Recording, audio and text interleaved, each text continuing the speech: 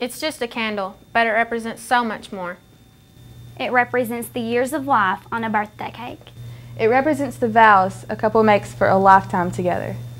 It represents solemn ceremonies and remembering loved ones lost.